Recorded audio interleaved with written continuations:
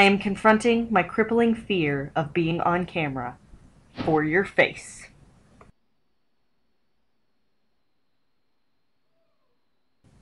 This is the only empty spot on my wall where your face should be.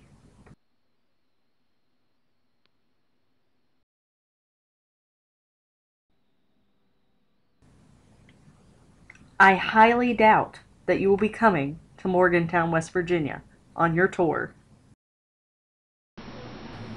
You broke my heart. I need your face, Dan Brown. I need your face to fill the void on my wall and in my heart.